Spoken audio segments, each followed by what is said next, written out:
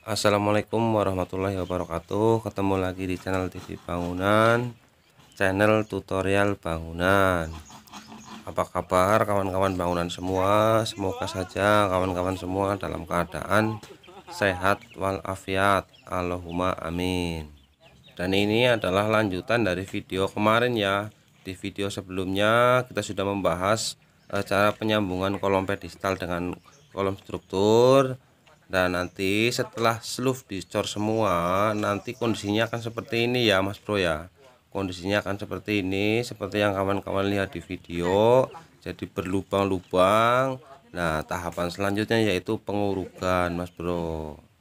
Pengurukan seperti yang sedang saya lakukan di sini e, diuruk ya setelah sluf dicor begisting dibongkar kemudian pengurukan diuruk sampai e, rata dengan permukaan corslof nah kawan-kawan lihat sendiri jadi saya sedang mengerjakan proses pengurukan dan saat proses pengurukan jangan lupa ya pipa-pipa air kotor dipasang sekalian. Jadi nanti sebagian orang ada yang instalasi pipa khususnya pipa-pipa air kotor ya seperti dari kloset terus pembuangan air mandi begitu ya air sabun terus lagi eh, dapur ya pembuangan dari dapur. Nanti diinstalasi sekalian eh, sebelum kena urukan nah ya gitu. Jadi sambil berjalan nguruk ada yang instalasi pipa eh, berjalan bareng supaya eh, nanti saat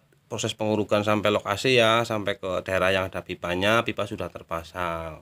Tidak ada gali-gali eh, tanah lagi nanti pipa nggak ada yang ketinggalan nah gitu seperti yang saya lakukan di sini jadi proses pengurukan pipa sudah terpasang dan nanti saat diuruk jadi pipa sudah tertanam di dalam e, tanah ya. Tidak ada eh, gali-gali lagi untuk pemasangan pipa. Nah seperti yang kawan-kawan lihat sendiri ya setelah diuruk pipa sudah terpasang. Terus selanjutnya jadi intinya ini ya setelah pondasi selesai barangkali kawan-kawan ada yang penasaran biayanya habis berapa. Nah jadi di kesempatan kali ini saya akan membahas eh, berapa biaya membuat pondasi saja ya untuk rumah satu lantai ukuran 6 kali 8 pondasi eh, model sluf gantung ya atau pondasi rumah tanpa batu kali. Oke ya tetap setia ya. Dan ini adalah rincian biayanya ya. Saya sudah rangkum saya sudah salin ya. Ini dari mulai material sampai ke upah tukang sampai operasional ya. Saya sudah rangkum. Jadi eh, di sini saya kasih judul rincian biaya membuat pondasi rumah satu lantai ukuran 6 kali 8 model pondasinya seluruh gantung atau pondasi rumah tanpa batu kali. Dan di bawahnya ini dari material ya. Untuk material saja kemarin saya beli pasir satu rit. Harganya silakan lihat sendiri. Semen habis 35 sak. Ini untuk pondasi saja ya yang 50 kiloan terus besi untuk cakar ayam dan kolom pedestal 1.400 terus besi untuk tulangan sloof terus besi untuk bagel eh, kolom pedestal dan bagel sloof terus bendrat triplek yang 9 mili untuk begisting slope ya. Terus kaso paku kerikil ya atau batu split ember cor. Terus yang nomor 10 ini upah tukang ya. Jadi untuk pengerjaan pondasi saja nih ya upah tukangnya. Terus operasional ini operasional juga penting ya buat beli kopi beli galon beli es. Nah ini untuk pengerjaan pondasi saja. Totalnya 25 juta ya Mas Bro ya.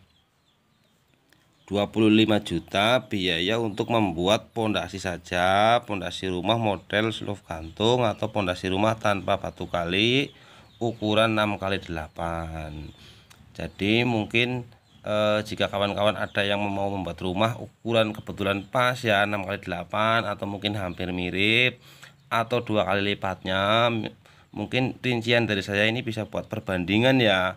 Kalau ukuran rumahnya dua kali lipatnya berarti tinggal dikali dua. Terus kalau sama ya mungkin bisa buat estimasi ya jadi perkiraan biaya. Mungkin nanti saat kawan-kawan membuat pondasi jika tidak sama dengan biaya saya ini wajar ya karena harga material terus upah tukang biasanya itu berbeda tiap daerah. Dan ini saya dan ini yang sedang saya kerjakan ini di daerah Jawa Tengah ya Mas Bro ya.